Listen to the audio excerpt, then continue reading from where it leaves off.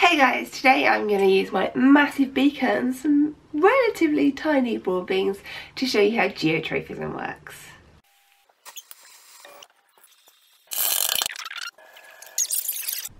So if we look at our broad beans close up, you can see they have this end on them. And this is the end where things are going to start happening. But what I want to see, what I want to show you, is does it matter whether this end is pointing down, or does it matter whether it's pointing up, or does it matter whether it's pointing sideways?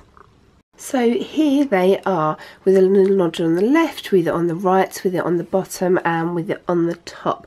I will water these and track these over a few days and show you in which direction the shoots and the roots grow. Three days in and we can see one of the little uh, thingy bobs, uh, beans rather, thingy bobs, is producing a little root.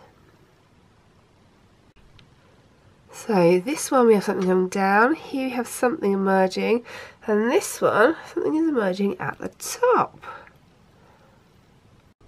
It is July, so very warm and sunny, and very quickly all of these have produced shoots, uh, roots that are going downwards, and here we have a shoot that is going up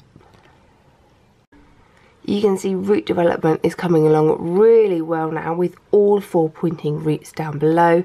This one here, the shoot hasn't started up yet. This one's kind of thinking about it and the other two have shoots going upwards. So here are our broad beans after about two weeks. And you can see in all of them, the roots are growing downwards and the shoots are growing upwards.